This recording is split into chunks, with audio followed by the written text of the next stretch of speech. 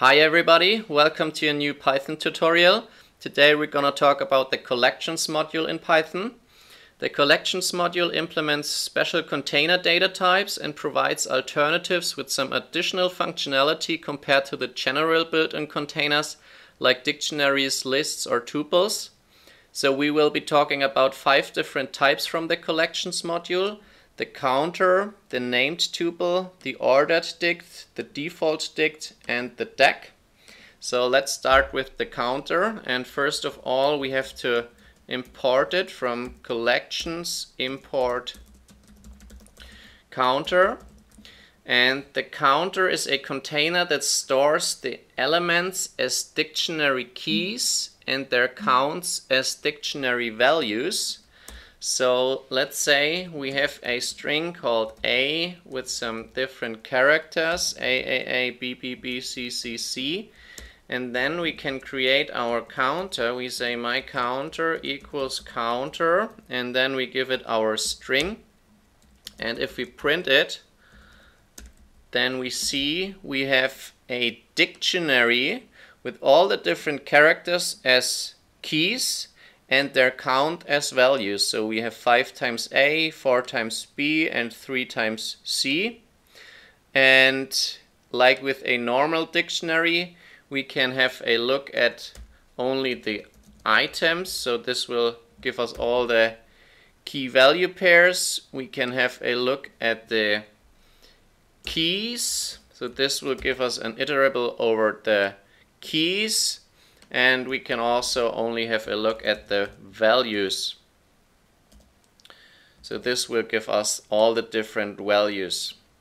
And what's also very helpful is to have a look at the most common element in our counter dictionary. So we say if we um, first print our counter again, and then we can say we want to print my counter dot most common. And then here how many different items? So I want to see only the very first so the the most common um, element. So if I print this then I will get the A with the count 5 is the most common element. So if I say 2 here, then it will give me the two most common types. So it will also um, put the B in here. And this will return a list with tuples in it. So for example, if I want to have a look at only the, I want to see what is the most common um, element, then I will have to access the index 0. So this will give us the tuple at index 0.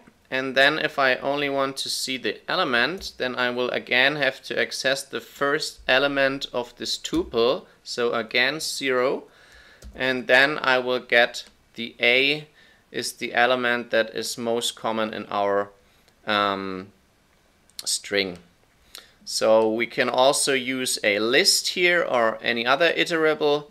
Um, yeah. We can also have a list with all, all the different elements. So if we say print my counter dot elements and this will give us an iterable over elements repeating each as many times as it counts so I have to convert this to a list in order to print it nicely.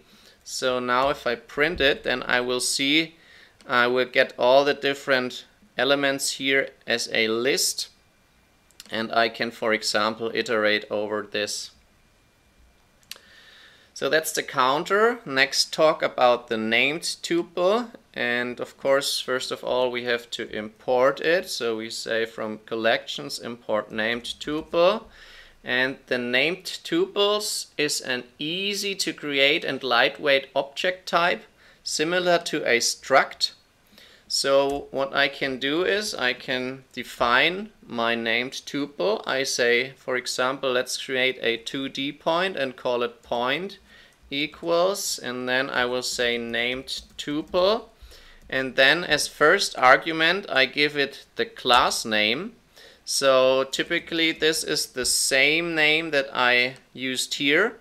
And then as a second argument I use another string. And here I use all the different fields I want separated by either a comma or a space. So I can say x comma y. So this will create a class called point with the fields x and y. So now I can create this point. So I can say pt equals point and then I will give it values for x and y. So for example I will give it 1 and minus 4 and now if I print my point then I will see I have a point with x equals 1 and y equals minus 4 and I can also access the field so I can say pt.x and pt.y so then this will print the values for x and y. Next um, is the ordered dictionary. So from collections import ordered dict.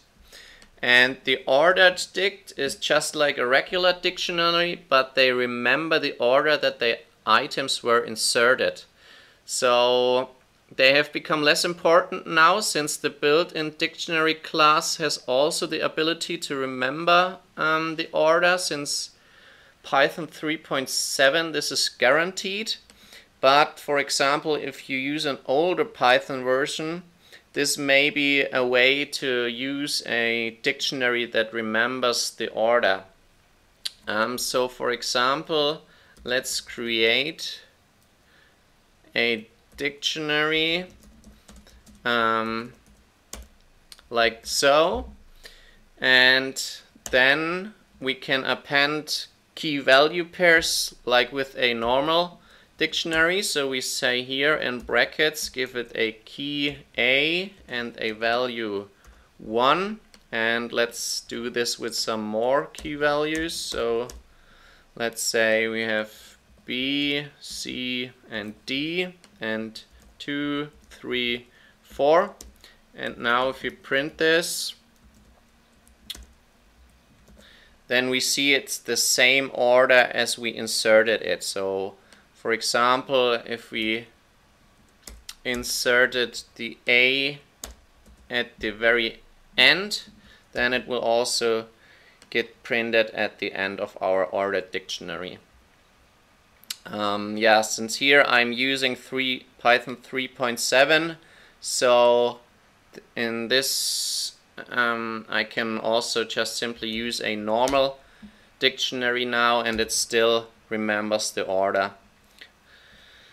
Next, um, we have a look at the default dict. So from collections import default dict. And the default dict is also similar to the usual dictionary container with the only difference that it will have a default value if the key has not been set yet. So what we will do, we have to create a default dict and as an argument we will give it an a default type. So let's say we want to have an int, an integer here as default type. And then we can fill our dictionary. Again, let's say D of, with the key A is 1 and D um, with the key B equals 2 and let's print our dictionary. So we will see it here. And then we can access the keys. So for example, let's access uh, the key A. And then it will give 1 and the key B will return 2 and now if I put in a key that does not exist, so for example C, then what will happen, it will return the default value of an integer and this is by default a zero. So I can also, for example, say I want a float default value. So then this will return 0.0 if it does not exist. Or for example, I will have an empty list if it does not exist. So yeah, with a normal dictionary, this would raise a key error. So now this would raise a key error, but with the default dict it would return the default value of the type that we specify. So as a last collections type we will talk about the deque. So the deque is a double-ended queue and it can be used to add or remove elements from both ends. And both are implemented uh, in a way that this will be very efficiently. And yeah let's create a deque so let's say d equals deque and then we can append items like with a list. So let's say d append 1 and d append 2 and then print it. Now, now we see our deque here. And of also we can say we can say d dot append left. So this will add elements at the left side so now we can see our three got added here and we can also again remove elements from both sides so we can say d dot pop and now if we print our deque, then we will see that the with pop, this will return and remove the last element. So now the 2 got removed. Or we can say d.pop left. So this will return and remove the element from the left side. So now the 3 got removed. Can also of course say d clear, so this will remove all elements.